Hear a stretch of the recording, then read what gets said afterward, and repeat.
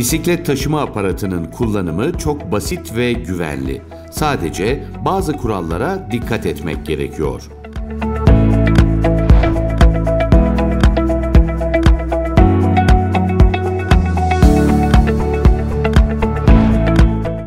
Aparat iki bisiklet kapasiteli ve iki tekerlekli bisikletler için uygun.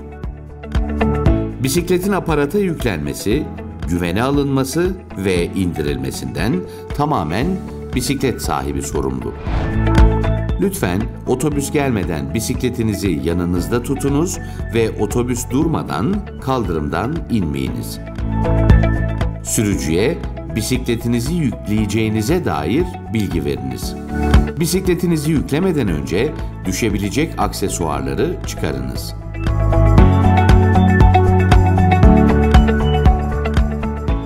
Güvenliğiniz için bisikleti hem yüklerken hem de indirirken her zaman kaldırım tarafında bulununuz. Bisiklet taşıma aparatı boş ve kapalı durumdaysa aparat açma mandalını sıkıp açarak yatay konuma getiriniz. Sabitleme kolunu açınız. Otobüse yakın olan bisiklet rafını kullanınız. Bisikletin ön tekerleğini sabitleme kolunun olduğu tarafa gelecek şekilde boşluklara yerleştiriniz. Sabitleme kolunu ön tekerleğin üstüne gelene kadar çevirerek dayayınız.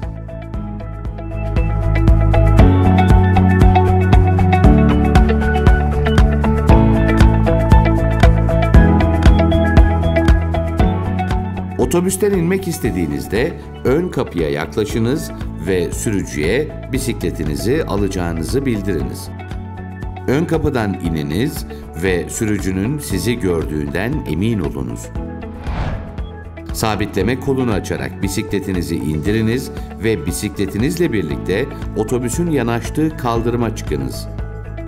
Bisikletli son yolcuysanız sabitleme kolunu kapatarak aparatın mandalını tekrar sıkarak kaldırınız ve otobüse sabitleyiniz.